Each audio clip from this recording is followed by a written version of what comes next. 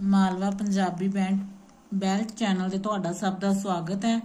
ਸੋ ਅੱਜ ਅਸੀਂ ਕਰਾਂਗੇ ਆਧੁਨਿਕ ਕਵੀ ਹੀਰਾ ਸਿੰਘ ਦਰਦ ਜੀ ਬਾਰੇ, ਜੋ ਕਿ ਦੂਜੇ ਦੌਰ ਦਾ ਕਵੀ ਅਤੇ ਸਟੇਜੀ ਕਵੀ ਦਾ ਜਨਮ 1887 ਵਿੱਚ, ਮੌਤ 1965 ਈਸਵੀ ਵਿੱਚ ਹੋਈ।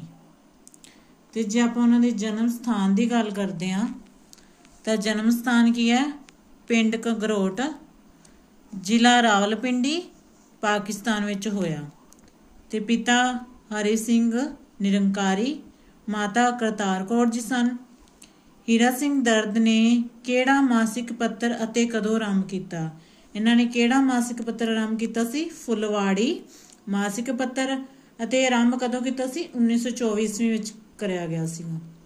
ਹੀਰਾ ਸਿੰਘ ਨੇ ਕਿਸ ਤਕਲਸ ਹੇਠ ਰਚਨਾਵਾਂ ਲਿਖੀਆਂ?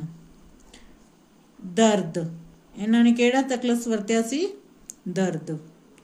ਹੀਰਾ ਸਿੰਘ ਦਰਦ ਦਾ ਕਿਹੜਾ ਸੰਗ੍ਰਹਿ 1912 ਵਿੱਚ ਪ੍ਰਕਾਸ਼ਿਤ ਹੋਇਆ? 1912 ਵਿੱਚ ਪ੍ਰਕਾਸ਼ਿਤ ਹੋਣ ਵਾਲਾ ਸੰਗ੍ਰਹਿ ਸੀ ਉਪਕਾਰਾਂ ਦੀ ਵੰਨਗੀ। ਉਪਕਾਰਾਂ ਦੀ ਵੰਨਗੀ ਸੀ ਜਿਹੜਾ ਉਹ ਵਾਲਾ 1912 ਵਿੱਚ ਕਾਵ ਸੰਗ੍ਰਹਿ ਪ੍ਰਕਾਸ਼ਿਤ ਹੋਇਆ ਸੀ। ਹੀਰਾ ਸਿੰਘ ਦਰਦ ਦੇ ਦੈਨਿਕ ਅਖਬਾਰ ਅਕਾਲੀ ਕਦੋਂ ਸ਼ੁਰੂ ਕੀਤਾ? ਇਹਨਾਂ ਨੇ ਜਿਹੜਾ ਦੈਨਿਕ ਅਖਬਾਰ ਅਕਾਲੀ ਕਦੋਂ ਸ਼ੁਰੂ ਕੀਤਾ? 1920 ਈਸਵੀ ਵਿੱਚ। ਉੱਥੇ ਕੀ ਇਹਨਾਂ ਨੇ ਸਹਾਇਕ ਸੰਪਾਦਕ ਵਜੋਂ ਕੰਮ ਕੀਤਾ? ਸ਼ੁਰੂ ਵਿੱਚ ਹੀਰਾ ਸਿੰਘ ਦਰਦ ਦਾ ਸਬੰਧ ਕਿਸ ਧਰਮ ਨਾਲ ਸੀ? ਹਿੰਦੂ ਧਰਮ ਨਾਲ। ਬ੍ਰਿਜ ਭੂਮੀ ਤੇ ਮਲਾਇਆ ਦੀ ਯਾਤਰਾ। ਇਹ ਕਿਸ ਦੀ ਰਚਨਾ ਹੈ? ਹੀਰਾ ਸਿੰਘ ਦਰਦ ਦੀ। ਦਰਦ ਸੁਨੇਹੇ ਦੀ ਭੂਮਿਕਾ ਕਿਸ ਨੇ ਲਿਖੀ ਸੀ? ਇਹਨਾਂ ਦਾ ਜਿਹੜਾ ਕਾਵ ਸੰਗ੍ਰਹਿ ਸੀ, ਦਰਦ ਸੁਨੇਹੇ ਉਸ ਦੀ ਭੂਮਿਕਾ ਕਿਸ ਨੇ ਲਿਖੀ ਸੀ? ਤੇਜਾ ਸਿੰਘ ਨੇ। ਹੀਰਾ ਸਿੰਘ ਦਰਦ ਨੇ ਕਿਸ ਅੰਦੋਲਨ ਵਿੱਚ ਭਾਗ ਲਿਆ? ਭਾਰਤ ਛੱਡੋ ਅੰਦੋਲਨ। 1919 ਵਿੱਚ ਅੰਮ੍ਰਿਤਸਰ ਵਿਖੇ ਕਾਂਗਰਸ ਦੇ ਸਮਾਗਮ ਵਿੱਚ ਹੀਰਾ ਸਿੰਘ ਦਰਦ ਨੇ ਕਿਹੜੀ ਕਵਿਤਾ ਗਾਈ? ਦਸ਼ਮੇਸ਼ ਦੀ ਫੋਟੋ। ਸਮੁੰਦਰੋਂ ਪਾਰ ਦਾ ਸੁਨੇਹਾ ਕਿਸ ਨਾਲ ਸੰਬੰਧਿਤ ਹੈ? ਜੈਲਾਂ ਵਿਚਲੇ ਕੈਨੇਡੀਅਨ ਸਿੱਖਾਂ ਨਾਲ ਸੰਬੰਧਿਤ ਹੈ। ਇਹਦਾ ਵਿਚਲਾ ਸਮੁੰਦਰੋਂ ਪਾਰ ਦਾ ਸੁਨੇਹਾ ਕਵਿਤਾ ਵਿਚਲਾ ਹੀਰਾ ਸਿੰਘ ਦਰਦ ਨੇ ਕਿਸ ਅਖਬਾਰ ਵਿੱਚ ਕੰਮ ਕੀਤਾ? ਇਹਨਾਂ ਨੇ ਕਿਹੜੇ ਕਿਹੜੇ ਅਖਬਾਰਾਂ ਵਿੱਚ ਕੰਮ ਕੀਤਾ? ਅਕਾਲੀ ਵਿੱਚ ਵੀ। ਉੱਥੇ ਕੀ ਹੈ? ਸਹਾਇਕ ਸੰਪਾਦਕ ਵਜੋਂ ਖਾਲਸਾ ਸੇਵਕ ਅਤੇ ਕੌਮੀ ਦਰਦ ਅਖਬਾਰ ਵਿੱਚ ਵੀ ਇਹਨਾਂ ਨੇ ਕੰਮ ਕੀਤਾ ਸੀਗਾ। ਹੁਣ ਆਪਾਂ ਗੱਲ ਕਰਦੇ ਹਾਂ ਕਿ ਹੀਰਾ ਸਿੰਘ ਦਰਦ ਸੀ ਜਿਹੜੇ ਇਹਨਾਂ ਦੀਆਂ ਪੁਸਤਕਾਂ ਜਾਂ ਆਪਾਂ ਕਹਿ ਲਓ ਕਾਵ ਸੰਗ੍ਰਹਿ। ਕਿਹੜੇ ਕਿਹੜੇ ਲਿਖੇ ਸੀ ਇਹਨਾਂ ਨੇ? ਦਰਦ ਸੁਨੇਹੇ 1919 ਵਿੱਚ। ਜਿਹਦੇ ਕੀ ਹੈ? ਤਿੰਨ ਭਾਗ ਨੇ।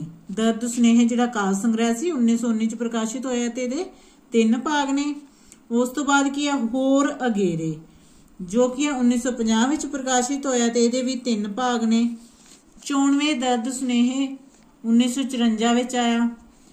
ਹੀਰਾ ਸਿੰਘ ਦਰਦ ਦਾ ਪਹਿਲਾ ਕਾਵਿ ਸੰਗ੍ਰਹਿ ਕਿਹੜਾ ਹੈ? ਇਹਨਾਂ ਦੇ ਪਹਿਲਾ ਕਾਵ ਸੰਗ੍ਰਹਿ ਸੀ ਤਾਂ ਕਿਹੜਾ ਸੀ?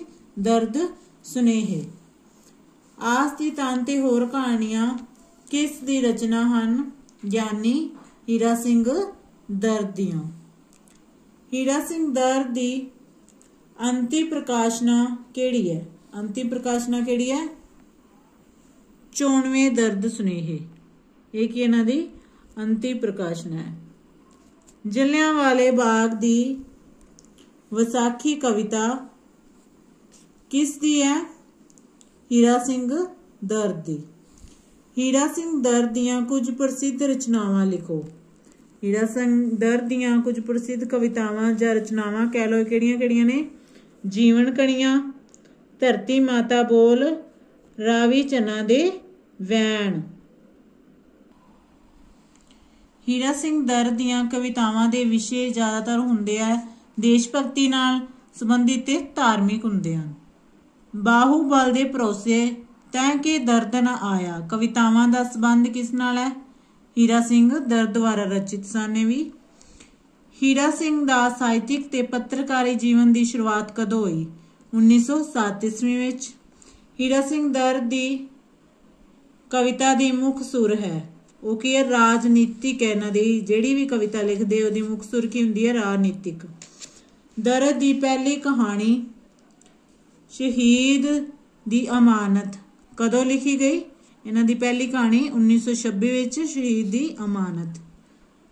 ਬਾਬਾ ਗੁਰਦਿੱਤ ਸਿੰਘ ਦੀ ਜੀ ਦਾ ਦਿਲ ਕਿਸ ਨੂੰ ਕਿਹਾ ਗਿਆ ਹੈ? ਗਿਆਨੀ ਹੀਰਾ ਸਿੰਘ ਦਰਦ ਨੂੰ। ਆਪ ਨੂੰ ਪਾਸ਼ਾ ਵਿਭਾਗ ਵੱਲੋਂ ਕਦੋਂ ਸਨਮਾਨ ਮਿਲਿਆ? 1930 ਈਸਵੀ ਵਿੱਚ। ਚਿਤਰਾਵਲੀ ਪੁਸਤਕ ਕਿਸ ਦੀ ਹੈ? ਹੀਰਾ ਸਿੰਘ ਦਰਦ ਦੀ।